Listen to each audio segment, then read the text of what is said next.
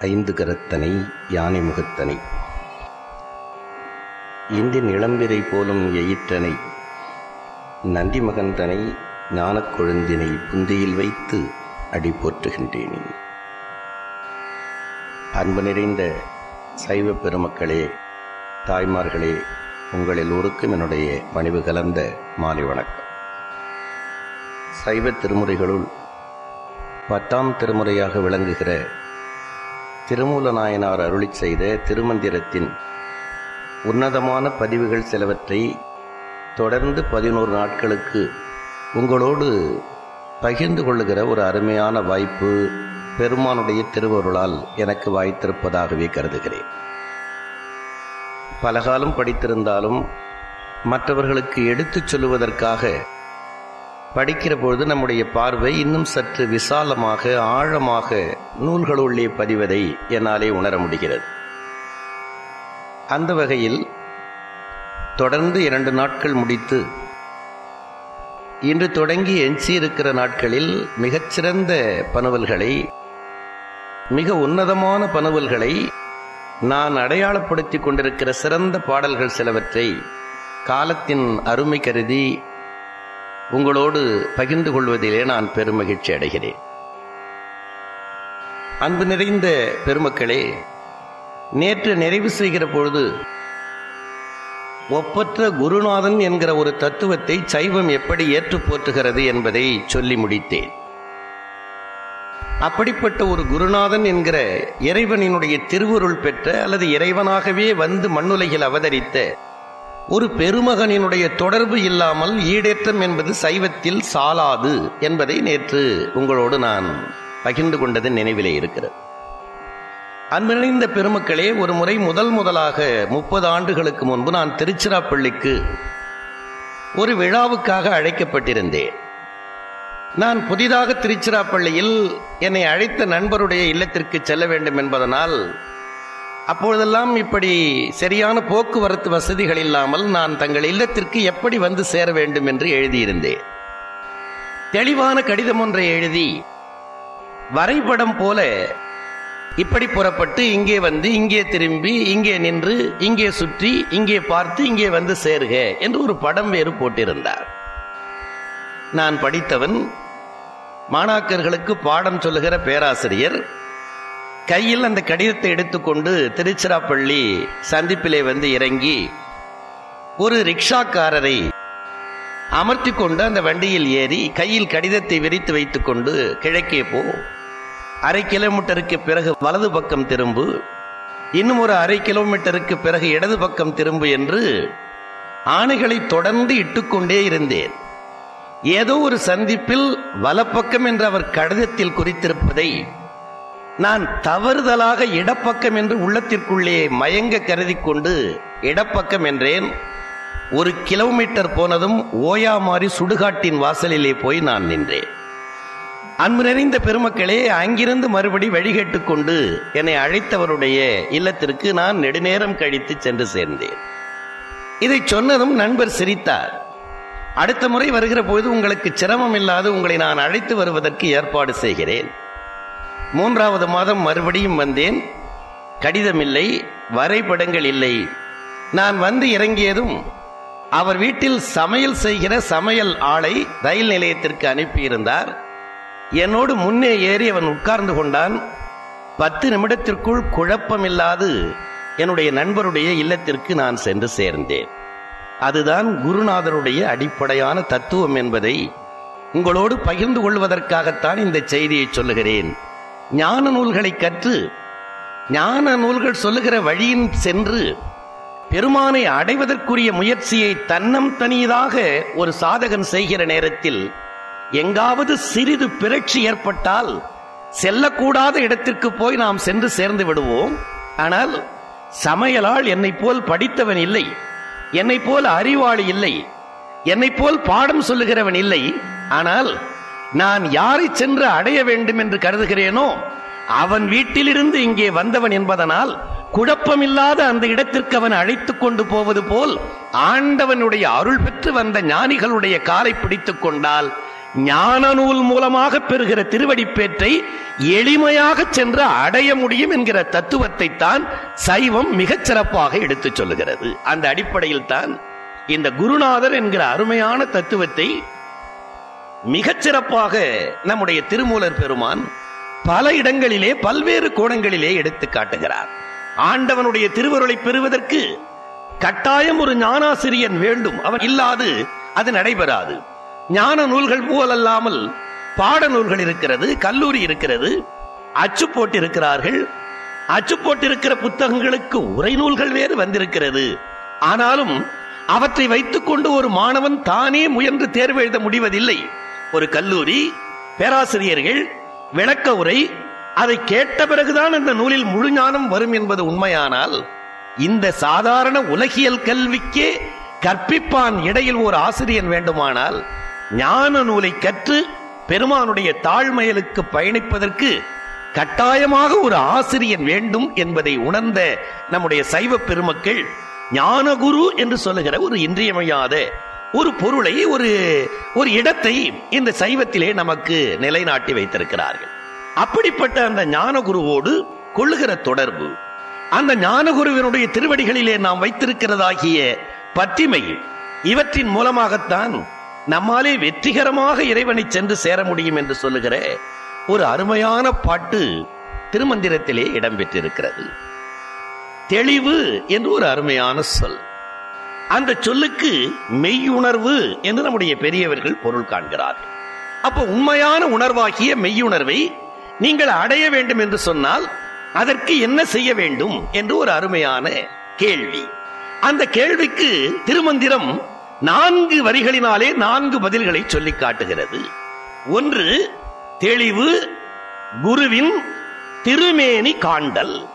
குருவாக எழுந்தருளி இருக்கிறவனுடைய திருமேனியை சென்று பார்த்த மாத்திரத்திலே கூட சில பேருக்கு மெய்யுணர்வு சித்திக்கும் என்பது திருமூலருடைய கருத்து. மதுரையிலிருந்து புறப்பட்டு குதிரை வாங்குவதற்காக பெரும்பொருளோடு புறப்பட்டு அங்கே கீழே கடற்கரைக்கு செல்லுகிற நேரத்தில் இடையிலே சந்தித்த ஒரு சிற்றூரில் இருக்கிற பெருமானுடைய திருக்கோயில் சிதலமடைந்து கிடப்பதை பார்த்து உள்ளே நுழைந்து அங்கே குருந்த மரத்தடியில் குருவாக எழுந்தருள் இருக்கிற பெருமானை கண்ட அளவிலேயே அன்றே எந்த நாவியும் உடலும் உடைமையெல்லாயும் குன்றே எனையாய் என்னை ஆட்கொண்ட போதே கொண்டிலையோ? அந்த திரு காட்சியினாலேயே இந்த மண்ணில் வாழ்ந்திருந்த நம்முடைய ஒப்பற்றவராகிய மாணிக்க வாசக பெருமானுக்கு மெய்யுணர்வு சித்தித்தது. சிலருக்கு குருநாதனுடைய தரிசனமே மெய்யுறவுக்கு காரணமாக இருக்கும். ஒரு வரி தெளிவு குருவின் திருமேனி காண்டல். அடுத்தது தெளிவு குருவின் திருநாமம் செப்பல். இது இரண்டாவது படி. பார்த்ததற்கு பிறகு அந்த குருவை தெரிந்து கொண்டோம் அடையாளப்படுத்திக் கொண்டோம். அவனுக்கு என்று ஒரு பெயர் உண்டு ஒரு திருநாமம் உண்டு. அழகான வார்த்தையா சொல்றார். முன்னம் அவனுடைய நாமம் கேட்டாள் என்று சொல்லுவது மாதிரி இறைவனுக்கு போடுகிற அந்த சொல்லை குருநாதருக்கு கொண்டு வந்து அந்த தெளிவு குருவின் திருநாமம் செப்பல். எங்கோ இருக்கிற திருவதிகை விரட்டானத்தில் சமணர்கள் செய்த கொடுமையான சூழ்ச்சிகளை எல்லாம் திருவருளின் உரைப்பாலே வென்று மேம்பட்டவராகிய நாவுக்கரசர் பெருமானை அங்கிருந்து நூற்றி ஐம்பது கிலோமீட்டருக்கு அப்பால் இருக்கிற அப்பூதியடிகள் பார்த்ததில்லை சந்தித்ததில்லை உரையாடியதில்லை. ஆனால் மனத்திலேயே ஒரு உறவு கொண்டு அவருடைய திருநாமத்தை உள்ளத்துக்குள்ளே எழுதி உள்ளத்துக்குள்ளே நினைவு கூர்ந்து எங்கு பார்த்தாலும் அந்த திருநாமத்தை இருகப் பற்றி கொண்டு தெருவில் இல்லத்தில் வாயிலில் சோலைகளில் குளங்களில் அன்னசத்திரங்களில் எல்லாம் நாவுக்கரசு என்கிற ஒரு நாமத்தை அந்த குருவினுடைய திருநாமத்தை இருகப் பற்றி கொண்ட ஒரே ஒரு காரணத்திற்காக அப்பூதியடிகள் என்கிறவராகிய ஒரு பெருந்தகை கடுமையாக பெற வேண்டியதாகிய இறைவனினுடைய திருவருளை மிக எளிதாக பெற்றார். சிவபிரகாச சுவாமிகள் மிக அழகாக சொன்னார். உற்றானலன் தவம்.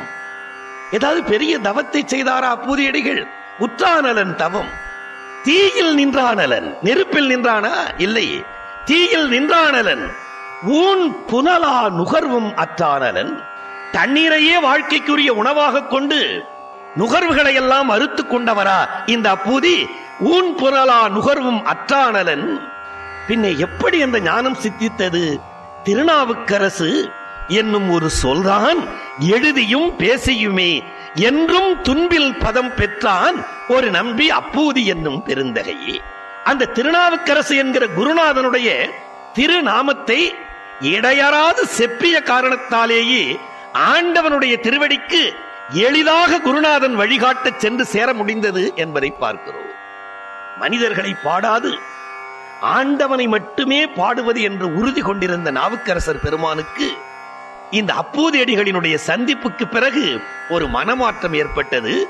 இத்தகைய அன்பனை இத்தகைய ஈடுபாட்டாளனை ஆண்டவனுடைய அடியார்களுக்கு சோறும் தண்ணீரும் வழங்குகிற அன்பனை கொஞ்சம் விதிவிலக்கை உண்டாக்கிக் கொண்டு ஆண்டவனை புகழ்ந்து பாடுகிற பதிகத்தில் மானுடனுடைய பெயரை கூட இணைக்கலாம் என்று தனக்குத்தானே ஒரு விதிவிலக்கை ஏற்படுத்திக் கொண்டு திருநாவுக்கரசர் பெருமான் திங்களூர் திருப்பதிகத்தில் இல்லை திருப்பயணத்து திருப்பதிகத்தில் ரொம்ப அழகாக அப்போதையடிகளை சேர்த்தார். வஞ்சித்து என் வளைகவர்ந்தான் வாராணி ஆயிடினும். பஞ்சிக்கால் சிறகு அன்னம் பறந்து ஆர்க்கும் பயணத்தான் அஞ்சிப்போய் கலிமெலிய அடலோம்பும் அப்பூதி குஞ்சிப்பூவாய் நின்ற சேவடியாய் கொடியை. ஒரு பெண் கூடல் இழைக்கிறாளா? அப்படி இழைச்சு கண்ணை மூடிட்டு அப்படி ஒரு கையை வச்சுட்டு வட்டம் போடுறா. தொடங்கிய இடத்தில் கண்மூடிக்கொண்டு வட்டம் போடுகிற பொழுது விரல் தொடங்கிய இடத்தில் வந்து கூடுமானால் என் காதலனை கூடுவேன். கூடாது போனால் அவனை நான் கூடாது போய்விடுவேன் என்று சஞ்சலத்தோடு கூடல் இழைக்கிற பெண்ணுறுத்தி பாடுவது போல் அழகாக பாடி எங்கள் பெருமானினுடைய திருவடியின் மேல் திருமுடியின் மேல் ரெண்டு பூக்கள் உண்டு. அது என்ன? அந்த ரெண்டு பூக்களையும் எடுத்து அப்பூதியடிகள் தன்னுடைய தலைமேல் சூட்டி இருக்கிறார் அந்த இரண்டு பூக்கள் என்ன தெரியுமா? எங்கள் சிவபெருமானுடைய திருவடிகளை வஞ்சித்து என் வளைகவர்ந்தான் குஞ்சி பூவாய் நின்ற சேவடியாய் கோடியை. அப்பூதியடிகளினுடைய திருமுடி மேல் அவன் பூசை முடிவில் அந்த அடியில் கிடக்கிற மலர்களை எடுத்து ரெண்டு தன் தலைமேல் வைத்துக் கொண்டாரா?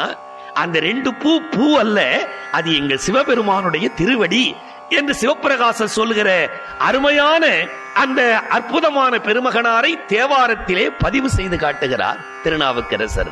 இப்போது திருமந்திரம் வருகிறது. தெளிவு குருவின் திருமேனி காண்டல் கண்டதனாலேயே திருவருள் பெற்றவர் மாணிக்கவாசகர் அடுத்தாற்போல் திருநாமம் செப்பியதனால் இறைவனினுடைய திருவருளை பெற்றவர் அப்பூதியடிகள் என்கிற அருமையான ஒரு இலக்கியத்திற்கு எத்தனை வகையான வாழ்வியல் இருக்கிறது? உண்மைகள் இருக்கிறது என்பதை பார்க்கிறோம். இந்திய தத்துவ சிந்தனை முழுவதும் தேடினால் இந்த குரு என்கிற அருமையான அந்த பகுதியை நுகர்வதற்கு ஆயிரம் செய்திகளை நம்முடைய இலக்கியங்களிலே பார்க்க முடிகிறது. பாட்டின் மூன்றாவது வரிக்கு வருகிறோம். தெளிவு குருவின் திரு வார்த்தை கேட்டல். குருவினுடைய திருநாமத்தை சொன்ன பிறகு குரு இடுகிற ஆணைகளை அப்படியே கேட்டு ஒழுகுவது. அப்ப கட்டளைக்கு கீழ்ப்படிதல் தெளிவு என்றால் மெய்யுணர்வு பெறுவதற்குரிய வாயில். திருவாரூர் திருநகரத்தில் நானூற்றி ஐம்பது ஆண்டுகளுக்கு முன்பு ஒரு நாள் மாலை தியாகேச பெருமானுடைய திருவடியை வணங்கிவிட்டு தன்னுடைய வீட்டிற்கு புறப்பட்டு செல்லுகிறார் ஞான குருவாக இருந்த கமலை ஞானப்பிரகாசர் என்கிற பெருமகனார்.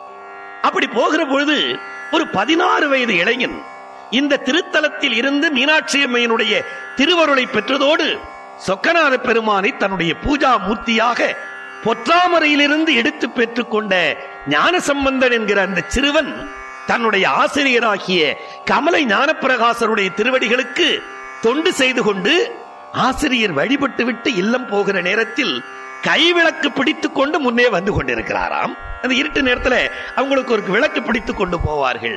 அப்படி வந்து கொண்டே இருக்கிற நேரத்துல கோயிலை தாண்டி தெற்கு கோபுர வாசல் வழியாக நுழைந்து ஆச்சாரியருடைய வீடு வரை சென்று விளக்கை காட்டிவிட்டு வாசலிலே நிற்கிறார் இந்த அன்புக்குரிய மாணாக்கர்.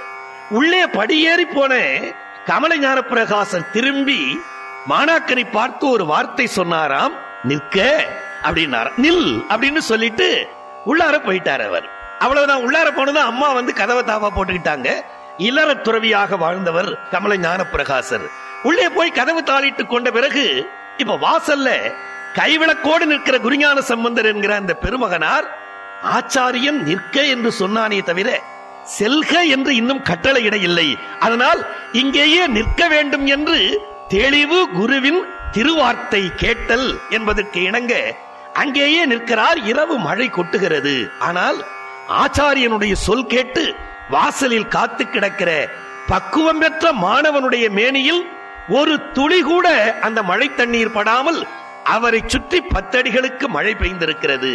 விடியற் காலையில் வந்து கதவு திறந்து வாசல் தெளிப்பதற்காக குருபத்தினியார் பார்த்துவிட்டு போய் இந்த அற்புதத்தை கணவரிடம் சொல்ல ஓடி வந்து மாணாக்கனை அழைத்து அருகில் கொண்டு வந்து நீ எல்லா தகுதிகளையும் பெற்று விட்டாய் தெளிவு என்றால் மெய்யுணர்வு. மெய்யுணர்வு முழுவதும் உனக்கு வாய்த்திருக்கிறது.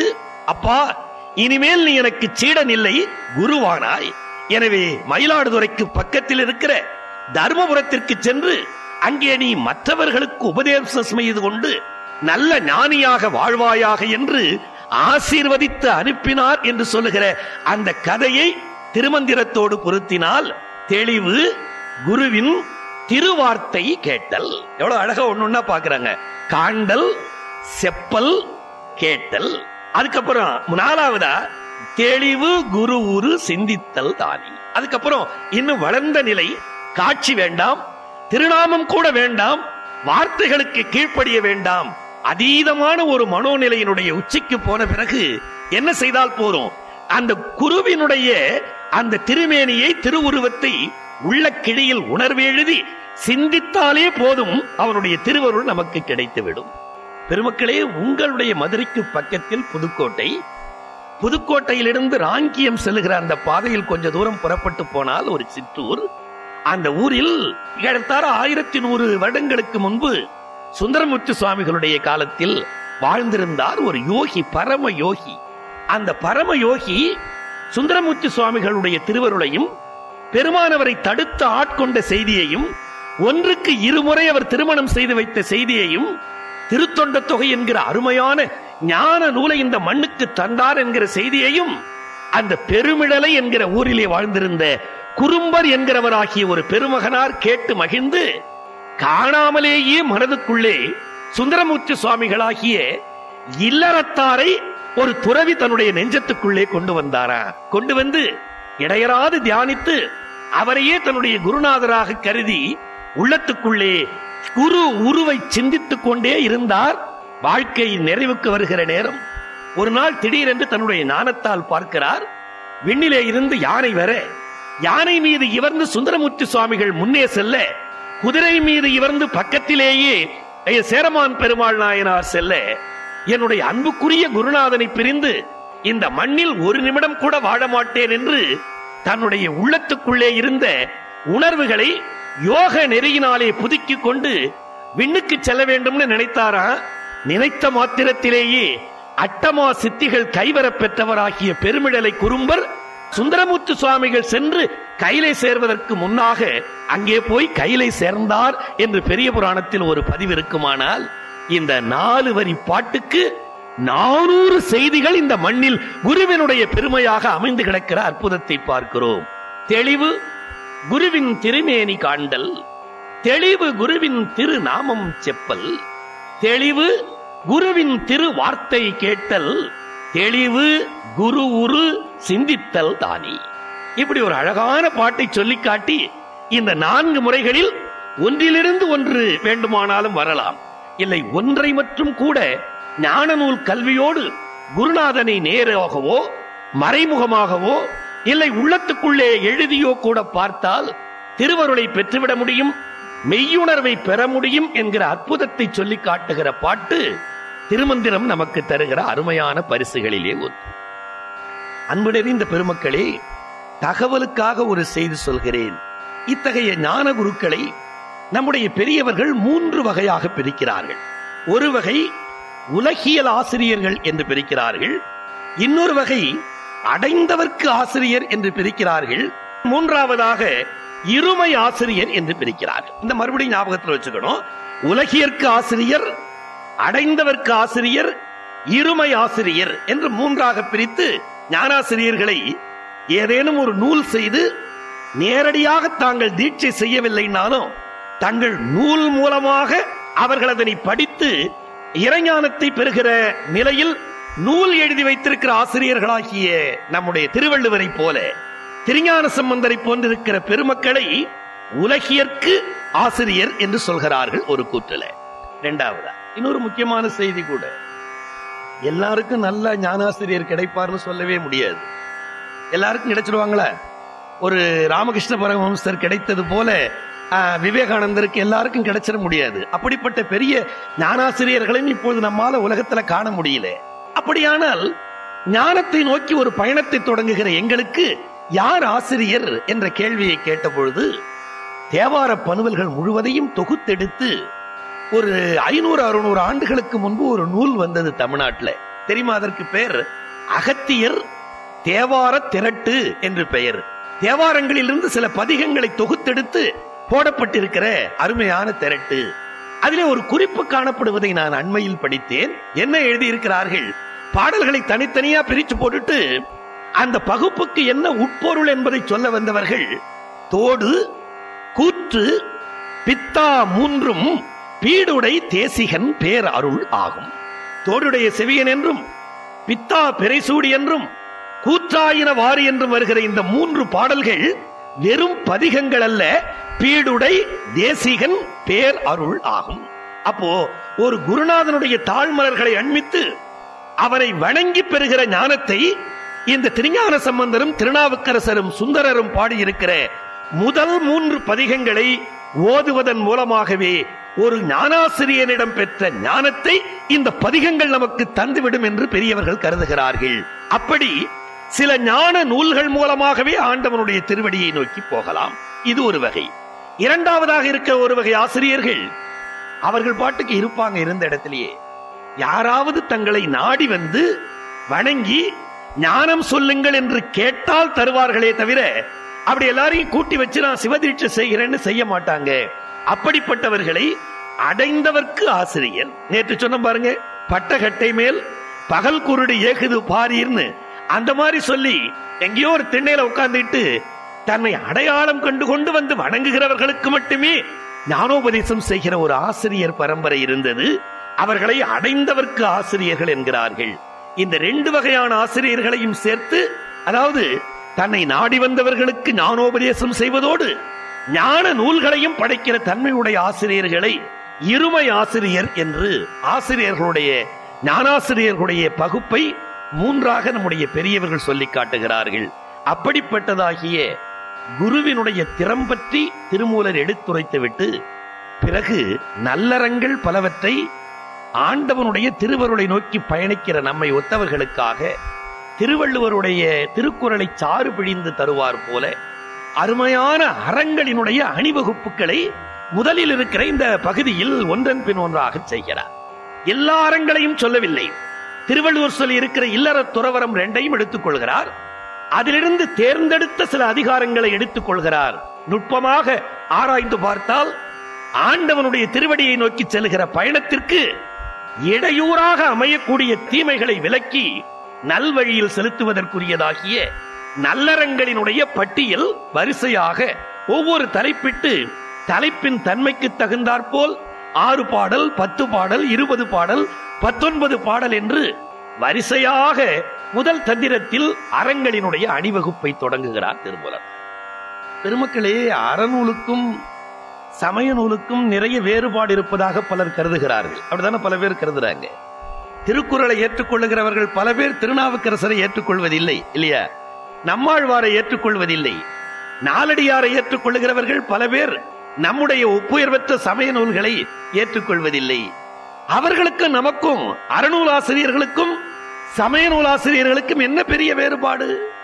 ஒன்றும் பெரிய வேறுபாடில்லை. இறப்பவர்க்கு ஈய வைத்தார் ஈபவர்க்கு அருளும் வைத்தார் கரப்பவர் தங்கட்கு எல்லாம் கடு நரகங்கள் வைத்தார். இது திருநாவுக்கரசருடைய தேவாரம். செல்வத்தை எதற்காக வைத்திருக்கிறோம் என்று சொன்னால் உன்னை நாடி வந்து கேட்கிறவனுக்கு கொடுப்பதற்காக இறைவன் இந்த செல்வத்தை உன்னிடம் தந்திருக்கிறார்.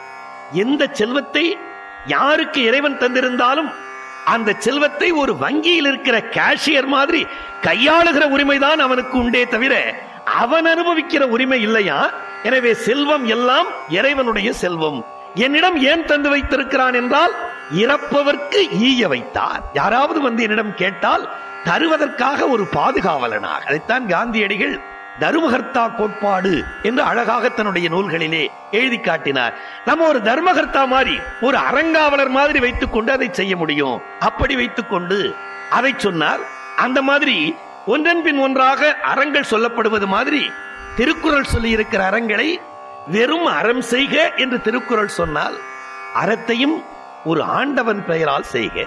ஒரு இறைவன் பெயரால் செய்க என்று இறைவனினுடைய திருநாமம் சொல்லி அத்தோடு அறம் செய்க என்று தொடங்குவதுதான் நம்முடைய சமய நூல்களினுடைய அடிப்படை. அந்த அடிப்படையில் சைவ பெரும் கருவூலமாக இருக்கிற திருமூலருடைய அருமையான இந்த திருமந்திரம் நல்லறங்கள் சிலவற்றை வரிசைப்படுத்தி திருக்குறள் போன்றிருக்கிற முன்னைய அறநூல்கள் சொல்லிய செய்திகளை உள்வாங்கிக் கொண்டு இறைமை கூட்டி சொல்லுகிற வணிவகுப்பாகத்தான் இந்த அருமையான பகுதிகள் இருப்பதை பார்க்கிறோம். முதலில் ஆண்டவனை நோக்கி பயணம் தொடங்குகிற நல்ல ஒரு குருநாதனுடைய துணையோடு துணை பற்றி பெருமானுடைய தாழ்மலர்களை நோக்கிய பயணத்தை தொடங்குகிற ஒவ்வொரு மனிதனுக்கும் சில அடிப்படையான சிந்தனைகள் வேண்டும்.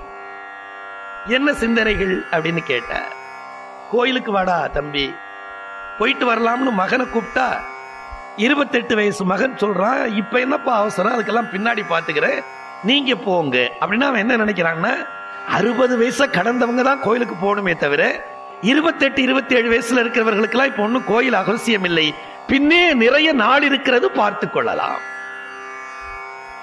அப்படி நினைக்காதீர்கள் என்று சொல்ல வருகிற திருமூலர் பெருந்தகை இந்த உலகத்தில் நீ நினைப்பது போல் உயிரும் உடம்புமாக கூடி நிற்கிற இந்த யாக்கை நெடுநாள் நிலை பெறும் என்று கருதி விடாதே என்றைக்கு அதனை நீ இழக்க வேண்டும் வரும் என்று யாருக்கு தெரியும்? எனவே யாக்கையோடு கூடியிருக்கிற காலத்திலேயே செய்ய வேண்டிய நல்லறங்களை செய்து ஒரு குருநாதன் தாழ் பற்றி மெல்ல உன்னுடைய பயணத்தை தொடங்கிவிடு. யாக்கை நிலையாமைய ரொம்ப அழகா சொன்ன பாடல்கள் பல இங்கே இருக்கிற நேற்று வரை யார் அவர் ஊருக்கு தலைவர் மேட்டுக்குடிக்காரர் பெரிய மனிதர். இன்றைக்கு பிணமானார். தூக்கி கொண்டு போய் சூரையங்காட்டிலே சுட்டார்களாம். சுடுகிற நேரத்தில் தூக்கி கொண்டு போகிற நேரத்தில் எல்லாரும் சேர்ந்து அழுதார்கள். அவன் புகழ் சொன்னார்கள். கொண்டு போய் சுட்டார்கள். அவர் இல்லை என்றால் இந்த சமூகம் எப்படி வாழும் என்று கதறினார்கள். திரும்பி வந்தார்கள். வருகிற பாதையிலே ஒரு ஆறு குறுக்கிட்டது. அதிலே ஒரு முழுக்கு போட்டார்கள்.